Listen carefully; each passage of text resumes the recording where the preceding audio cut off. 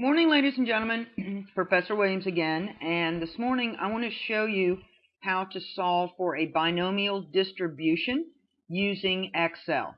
And so we're going to use Wanda, who wants some dog biscuits as opposed to just chewing on that soda bottle I've given her.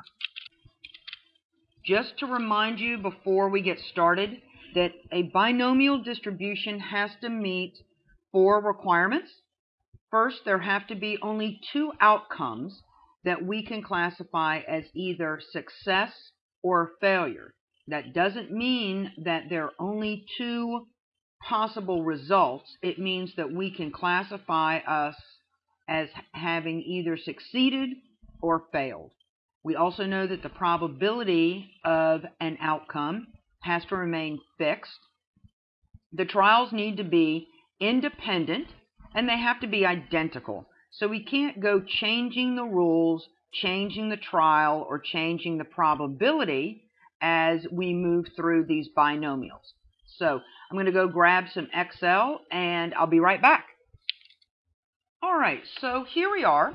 And what I've said is that the probability that Wanda gets a treat when I go to into the kitchen is 30%. So if I go into the kitchen eight times today, what's the probability that she's going to get four treats? Well, this meets all of our criteria for a binomial because the probability of 30% never changes. I know how many trials I have, which is eight, and she either gets a treat or she doesn't. So two outcomes.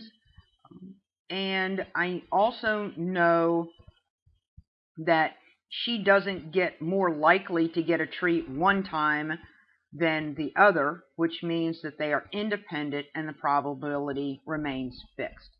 So in order to solve for this, what I know I'm actually solving for is I'm solving for, grab my pen here, I'm actually solving for the probability that x which is her getting a treat, is equal to 4, given that the probability of success is 0.30, I know that n, which is my number of trials, is equal to 8.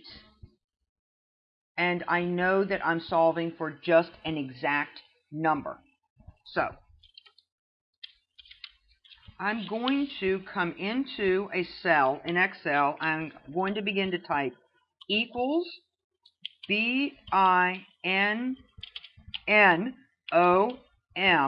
And I don't even have to get to the M before I see binomial distribution appear.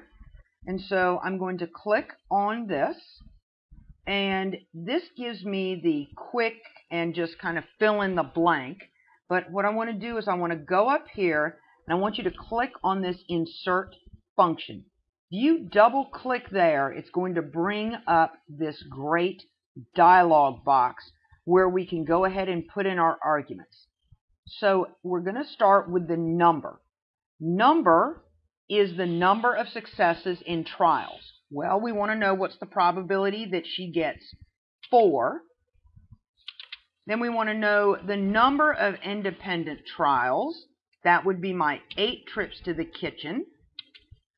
Probability is the probability of success. We said that was 30%. And now this cumulative logical function. Remember that when Excel solves for a binomial distribution, you have to tell it whether or not you want it to be cumulative. The rule of thumb is pretty simple.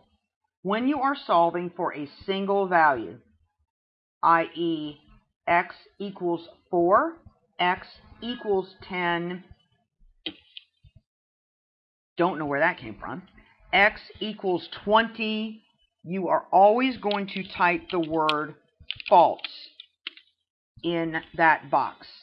Now, what it's done is it's already given you the answer. So you don't even have to hit enter if you don't want to. But I'm going to go ahead and say OK. And what it tells me is that the probability that Wanda will get exactly four treats on my eight trips to the kitchen when there's a 30% likelihood that she does get a treat is going to be 0.136137 or roughly 13.61% probability that out of the eight trips, she'll get exactly four treats, given that the likelihood of her getting one is 30%.